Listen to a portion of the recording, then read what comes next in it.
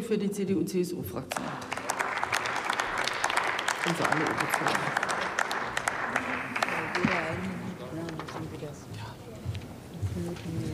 Frau Präsidentin, liebe Kolleginnen und Kollegen! Ich möchte noch mal daran erinnern, wir bringen heute das Gesetz zur Stärkung des neuen Zusammenlebens in der Stadt ein. Und die Diskussion, die eben stattgefunden hat, zeigt mir, dass wir da auf gutem Weg sind und sicherlich auch gemeinsam äh, eine gleiche Position finden. Wir setzen damit eine EU-Richtlinie um, aber unterm Strich kann man sagen, wir ändern in dieser Legislaturperiode auch das Baugesetzbuch, insbesondere im Planungsrecht. Und Frau Ministerin, äh, unabgesprochen habe ich mir auf meinem äh, Spickzettel auch vermerkt, dass es wichtig ist, dass wir schnell zu einem Ergebnis kommen. Deswegen vielen Dank auch an Ihr Haus, dass wir mit der Einbringung nicht in Verzug sind. Es kommt jetzt darauf an, dass der Bundesrat sich schnell damit beschäftigt am 10.2., dass wir unsere Anhörungen konstruktiv miteinander durchführen und dass wir noch im März hier zu einem Ergebnis kommen. Ähm, weil die Menschen und die Kommunen warten darauf.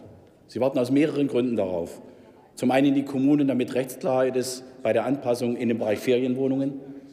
Klar ist, wir wollen nicht diese sogenannten Rouladensiedlungen, ähm, äh, ähm, sondern wir wollen auch äh, äh, Wohnen möglich machen. Aber wir brauchen auch Rechtsklarheit für die Bestände. Auch das ist wichtig, ähm, die in diesem Bereich äh, tätig sind. Und meine lieben Kolleginnen und Kollegen, die Wohnungssituation, vor allen Dingen in den Ballungsräumen und in den sogenannten Schwarmstädten, ist schwierig. Wir müssen hier zwei Strategien fahren. Eine kurzfristige und eine, die langfristig wirken kann. wenn es um die kurzfristige Strategie geht, ist es richtig, dass wir unter bestimmten Voraussetzungen auch ein vereinfachtes Planungsrecht zulassen und das, das möchte ich noch mal ausdrücklich betonen, auch zeitlich begrenzen. Aber die Zeit, aber die Zeit, aber die Zeit, die Zeit bis, die Zeit bis dahin dazu nutzen, um langfristig wirkende äh, Instrumente auf den Weg zu bringen. Und dazu gehört meiner Meinung nach insbesondere, wir hatten dazu ja am Mittwoch auch ein, ein Expertengespräch, dass es möglich ist, in den Kommunen auch mit Unterstützung des Bundes und der Länder Brachflächen zu erschließen. Ob das Brachflächen der Bahn sind oder, oder Militärversion, äh, das sei dahingestellt, um auf diese Art und Weise zusätzliches Bauland zu schaffen. Weil wie sollen wir ansonsten jungen Familien erklären, die aus ihrer Mietwohnung raus wollen, den Schritt gehen, sich ihr Wohneigentum zu bilden, sei es durch ein eigenes Haus oder durch eine Eigentumswohnung, wenn wir durch die ungenügende Bereitstellung von Bauland zu überhöhten Preisen hier einen Riegel vorschieben. Deswegen ist es auch wichtig, ist zwar nicht unser Thema, dass die Wohnimmobilienkreditrichtlinie, dass wir hier eine Änderung auf den Weg gebracht haben. Auch das wird uns sehr dabei helfen. Aber das Kernstück, wenn es um das bessere Leben in der Stadt geht, ist das urbane Gebiet. Ich kann mich erinnern, vor drei Jahren, als wir angefangen haben, in unserer ähm, äh, Fraktion über die Änderung der Baunutzungsverordnung zu ändern, war die Diskussion noch eine ganz andere. Aber ich denke, wir haben das gut auf den Weg gebracht, dafür zu sorgen, dass wir die urbanen Gebiete hier einführen, die zum einen dafür sorgen, dass wir Abstandsflächen verändern können, dass wir zusätzlichen Wohnraum schaffen, dass wir aber auf der anderen Seite auch aber insbesondere auch dafür sorgen, dass unsere Städte lebenswerter werden, dass sie attraktiv sind, ich will da ausdrücklich sagen, es geht nicht darum, weil auch die Diskussion hatte ich, in Gewerbegebieten Wohnen, zu, äh, äh, Wohnen zuzulassen.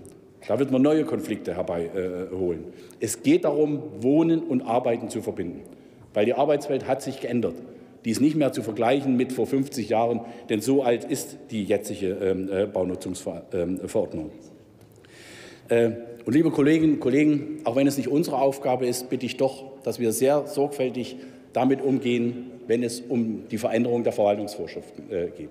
Ich meine hier insbesondere die TH Luft und die TH Lärm, die ja, ähm, ähm, die ja auch von seitens des Verwalt Verwaltungshandelns dann, dann die Grundlage bildet. Das ist ein Thema, wo wir dann natürlich auch das Kind nicht mit dem Bade ausschütten dürfen, sondern sehr sorgfältig vorgehen.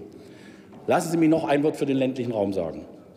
Mir ist sehr daran gelegen, dass wir das, was wir jetzt für die Städte auf den Weg gebracht haben, als urbanes Gebiet, dass wir hier auch an die kleinen Städte und die Dörfer denken. Die kleinen Dörfer und Städte haben sich gewandelt. Die Industrieentwicklung der letzten 70 Jahre hat dazu geführt, dass sie oftmals nur noch Schlafdörfer sind. Aber Dörfer waren eigentlich was anderes.